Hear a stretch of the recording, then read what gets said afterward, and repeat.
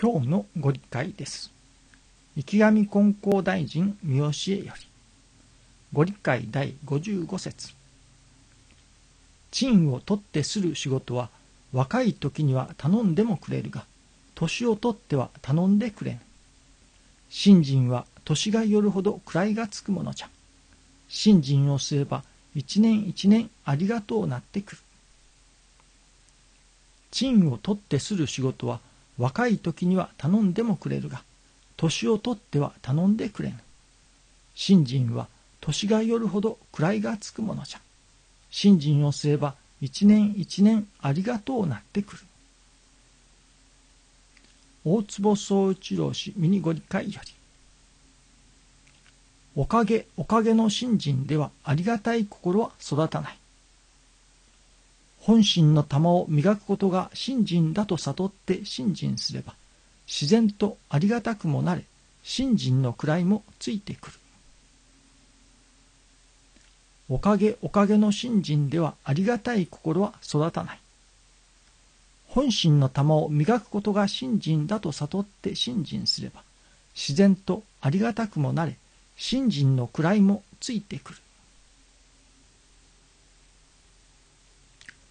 私の友人ががんで死の床についておられます。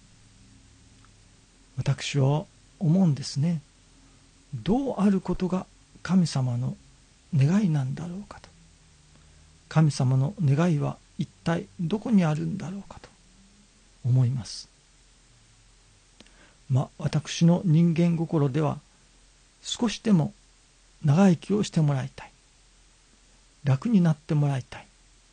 と思うんですけれども、果たしてそれが神様の願いであろうか。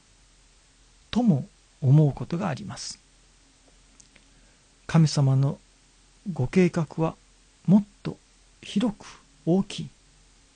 私の焦点はどこまでもその友人だけのことにとどまっておりますけれども神様のご計画というのはその人だけのことにとどまらずその周辺の人のことに至るまで大変複雑な絡み合いの中での神様の願いだと思わせていただきます。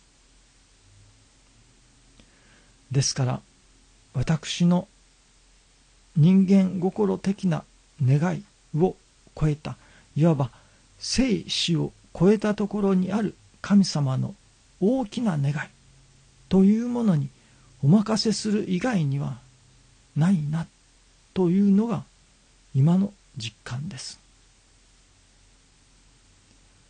どうぞ神様の大きな願いというものを感じ取る稽古をさせていただきたいと思います。